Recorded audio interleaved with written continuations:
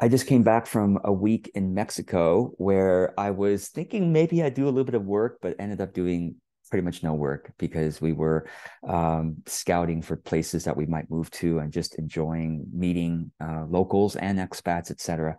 And uh, so now is the Monday where I'm getting back into a full schedule. And I just want to talk about, well, the, the very real experience, because I know a lot of you watching this do have that on a regular basis where you take some time off and you're coming back and you say, well, how do I get back into the groove? So I'm speaking from firsthand experience right now at you know 8:30 a.m. on a Monday. Um, so the key is, you know, and I know this about myself now, and I hope this this is something helpful for the key is to be gentle with yourself as you ease back in because productivity stamina is a real thing. You know, you can't expect yourself to be off for one week in Mexico and suddenly come back and have the same level of energy and clarity and focus as you do when you've been working regularly for a few weeks. So I I understand that I have to be more gentle on myself, but what that means for me is maybe a little different than what most people would mean. Um, most people would maybe have a lighter schedule, which I think makes sense. Um, to have a lighter schedule when you come back. So fewer meetings, because especially if you're an introvert, fewer meetings if you possibly can can swing that. Um, but for me, because I'm kind of like I've been practicing productivity for years, so I maybe this is a bit of a more advanced uh, level tip, but but basically I have I have quite a full schedule still because I've been able to create the breaks during the day that allow me to refresh myself. And so what I'm coming back to and how I'm how I'm being more gentle on myself is two things. How I'm being more aware of my stamina, which is lower now than it was before I left for vacation. two things.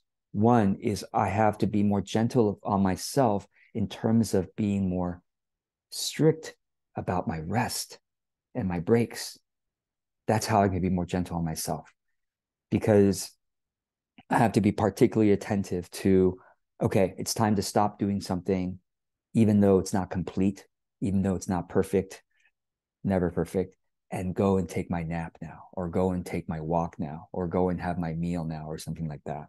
So, so that's what I'm reminding myself of. Okay, boundaries with myself. Take the breaks that I've already scheduled throughout the day. I do I do four naps a day for those of you who haven't heard, um, it's true. I've done that for years now, four naps a day, 15 minutes to 20 minutes naps, four times a day.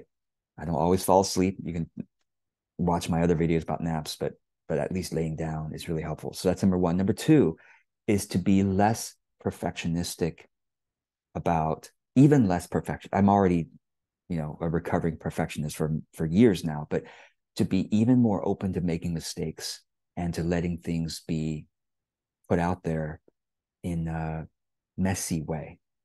Um, because because otherwise it's i'm being too hard on myself. And then coming back with lower stamina means things will look messier. So and i'm okay with that. And and and practicing being okay with that is really important. And that's being gentle on myself. Um yeah i'll have a whole other segment about how to be okay with things being messy in one's business, putting things out there in a messy way. Um, but for now, I just that's all I'm going to say for now. keeping stamina, keeping boundaries with myself. That coming back means actually to be more strict about my schedule is the way to be gentle with myself because my schedule includes lots of breaks and that's how I can and and putting things out there in a messy way. So that's what I'm practicing today and this week.